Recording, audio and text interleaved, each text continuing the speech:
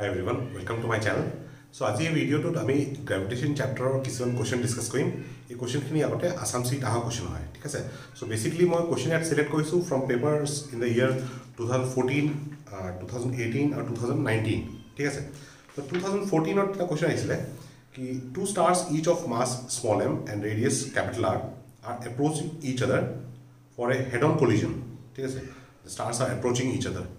And they start approaching each other when their separation is smaller much greater than capilla তাৰ মানে এইটো star হয় ঠিক আছে এইটো এটা ষ্টাৰ হয় আৰু এহেঁতৰ চাইজটো কেপলা ঠিক আছে আৰু এহেঁতৰ মাজৰ ছেপাৰেশ্যনটো হ'ল স্মলাৰ আৰু এই স্মলাৰটো মাছ গ্ৰেটাৰ দেন কেপলা ঠিক আছে তাৰমানে এইটো বহুত বেছি ছেপাৰেশ্যনত এইটো হৈছে ঠিক আছে আৰু কৈছে কি if their speeds at initial separation are negligible তাৰমানে এইটো পজিশ্যনত ইনিচিয়েল স্পীডটো নেগলিজিবল বুলি কৈছে।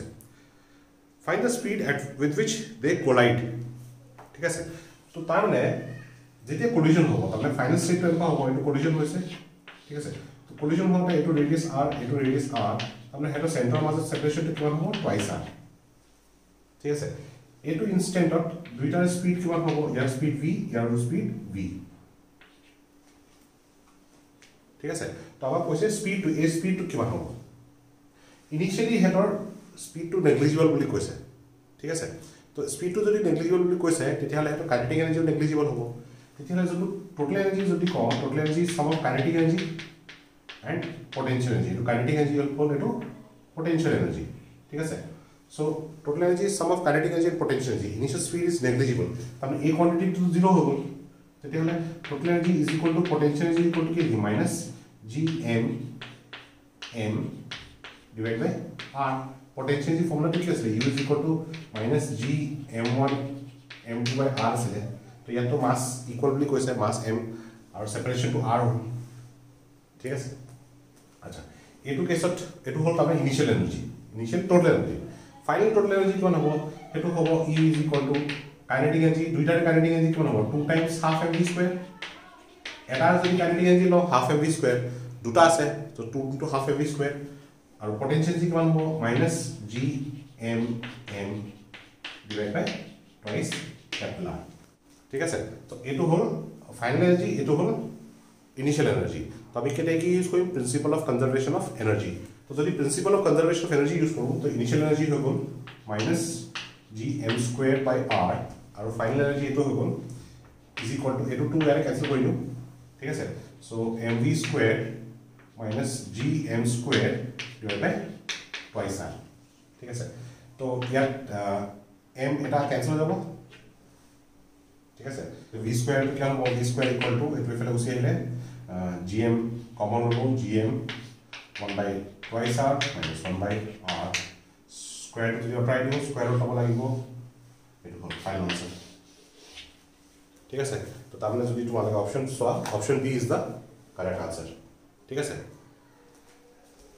চ' টু থাউজেণ্ড ফৰ্টিনতে আৰু এটা কুৱেশ্যন আহিছিলে the radius of earth is capital R and G is the acceleration due to gravity on it surface what should be the angular speed of earth so that bodies lying on the equator may appear weightless?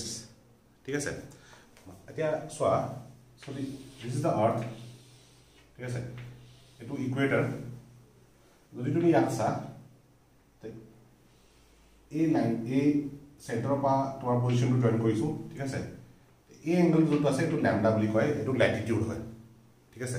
তাৰমানে যদি তুমি ইকুৱেটৰত আছা তেতিয়াহ'লে lambda is equal to zero' হ'ব তাৰমানে লেটিটিউডটো zero হ'ব। আৰু যদি তুমি পলত আছা তেতিয়াহ'লে lambda is equal to ninety degree পলত লেটিটিউডটো নাইণ্টি ডিগ্ৰী ঠিক আছে? এতিয়া এক্সেলাৰেশ্যনটো due to gravity it varies with latitude by the relation G dash is equal to G minus R omega square cos square lambda ইয়াত এই ওমেগাটো হ'ল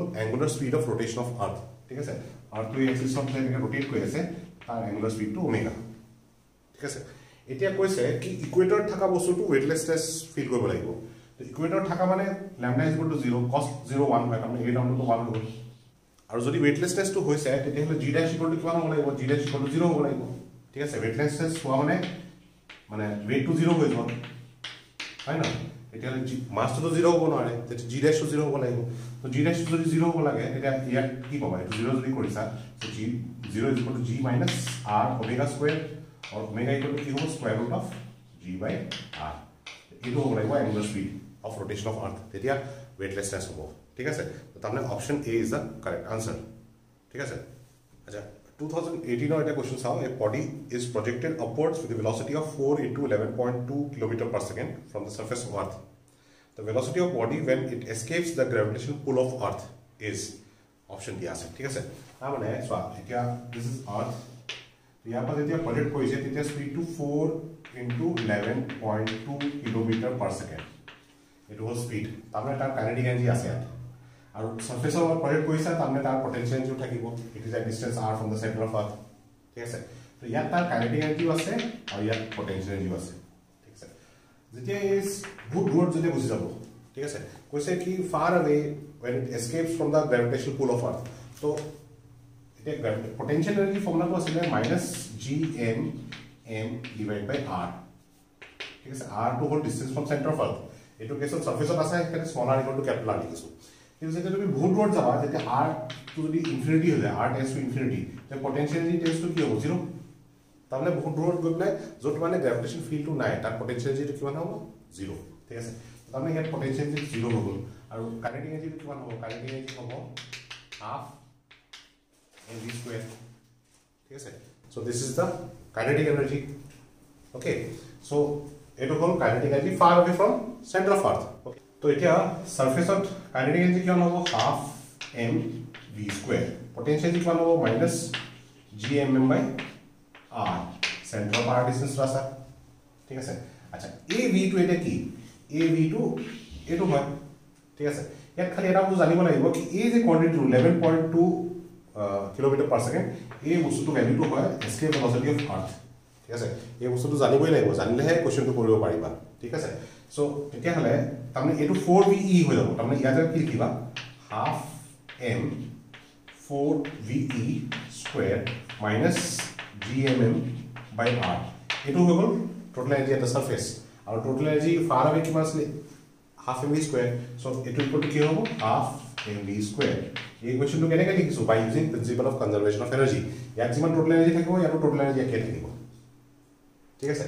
চ' এতিয়া এই যে ভি ইটো আছে এস্কে ভেলচিটিৰ ফৰ্মুলাটো কি আছিলে square root of two G M by R ঠিক আছে এইটো ইয়াত ছাবষ্টিউট কৰিম ছাবষ্টিউট কৰাৰ আগতে মই এই স্পলেটটো কেঞ্চেল কৰি দিছোঁ ঠিক আছে তো এইটো হাফ হ'ল ফ'ৰ স্কুৱেৰ কৰিলে এইটো into sixteen V E square জেগাত এইটো ছাবষ্টিউট কৰিবা তাৰমানে two G M by R minus G M by R is equal to V square by two ঠিক আছে তো এইটো টু এটা কেঞ্চেল হৈ গ'ল।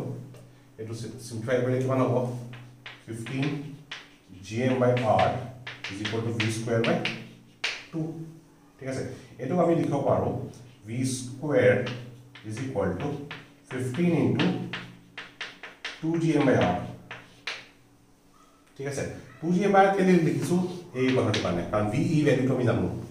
ঠিক আছে? তাৰমানে এইটো ভি ইকুৱেল টু কিমান হ'ব?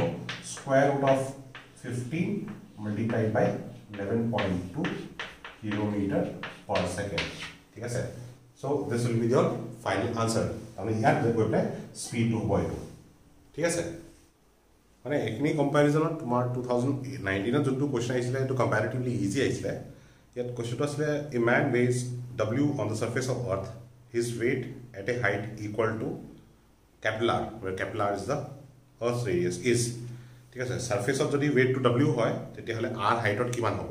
ঠিক আছে তো এতিয়া এক্সেলাৰেশ্যন টু গ্ৰেভিটি মানে হাইট বাঢ়িলে চেঞ্জ হয় তাৰ ৰিলেশ্যনটো আছিলে G dash is equal to G R square divide by R plus H whole square ঠিক আছে তোমালোকে এটা ফৰ্মুলা আৰু পাইছিলা G dash is equal to G one minus twice H by R ঠিক আছে খালি এই ফৰ্মুলাটো হাইট চেঞ্জ হ'লে যে এক্সেলাৰেশ্যন টু গ্ৰেভিটি চেঞ্জ হয় ইয়াতো এইটো ফৰ্মুলা আছে এইটো এটা ফৰ্মুলা কিন্তু ঠিক আছে। কিন্তু এই ফৰ্মুলাটো আমি চব জেগাত ইউজ কৰিব নোৱাৰোঁ। এই ফৰ্মুলাটো ইউজ কৰিব লাগিব এট ল' হাইট অনলি ঠিক আছে? This formula is valid only at low' height কম হাইটতে ভেলিড হ'ব।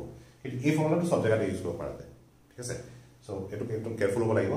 তো ইয়াতে কৈছে কি আৰ হাইটত কিমান হ'ব বুলি কৈছে ঠিক আছে? আৰ মানে ৰেডিয়াছ অফ আৰ তো এইচৰ জেগাত আৰ ছাবষ্টিটিউট কৰিবা তো জি ডেছ ইকুৱেলটো কি হ'ব? G R square divide by R plus R square so' এইটো কিমান যাব?